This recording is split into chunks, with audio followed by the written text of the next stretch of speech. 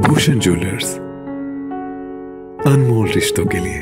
मंडी महाशिवरात्रि मेले के चौथे दिन टारना मंदिर में भक्तों का खूब जमावड़ा रहा। माँ श्याम काली और देव कमरूनाग के दर्शन के लिए यहाँ भक्त जन मन्नत चढ़ाते और भक्ति में मदमस्त दिखे। इस दौरान जय देवा कमरुआ नागा हो आया मेले जो भजन से तारना मंदिर परिसर गुंजामान रहा। नारियल, चुनरी व प्रसाद लिए भक्तजन अपनी बारी का इंतज़ार करते दिखे। बता दें कि महाशिवरात्रि महोत्सव के दौरान बड़ा देव कमरूनाग पिछले छह दिनों से टारना की पहाड़ियों में विराजमान है। वह सात दिनों तक तारना मंदिर में ही रहते हैं। तथा शिवरात्रि के अंतिम दिन वह तारना मंदिर से आने के बाद, सेरी चांदनी के पास बैठकर अपने भक्तों को दर्शन देते हैं।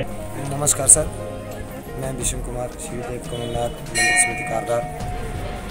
लेकिन मैं आपसे अब हमारा जो शिवरात्रि का दौर चला हुआ है, आठ दिन हम यहीं करना मंदिर के में बैठे हैं, प्रभु जी के लिए दूर दूर से लोग पूरे ऐसे आ रहे हैं और दर्शन करने के लिए आ रहे हैं और सुबह से लेकर के शाम तक जो करतारें लगी हुई है, वो दृश्य देखने लायक है। लोगों का जो आस्था, लोगों की जुड़ी हुई है, वो सराहनीय है और सुबह से लेकर के लोग जो है शाम तक इन्हीं ऐसी कतारों में लगे रहते हैं और अपनी बारी का इंतज़ार कर रहे हैं और बारी बारी से जो है प्रभु के दर्शन कर रहे हैं। हिमाचल दस्तक वेब टीवी के लिए मंडी से धर्मचंद वर्मा।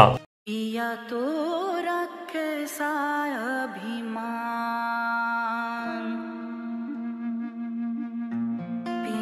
तो बीती यादों से नाता सहेजना सीखा। हाथ थाम कर जिनके चलना सीखा। गिरने लगती जब तो उनसे संभलना सीखा।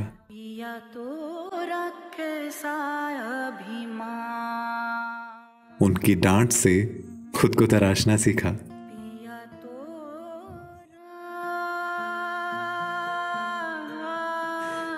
घर से दूर होकर भी दिल को हमेशा यह एहसास रहता है।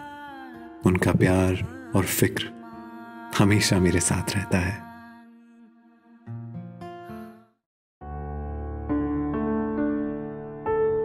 भूषण ज्वेलर्स, अनमोल रिश्तों के लिए।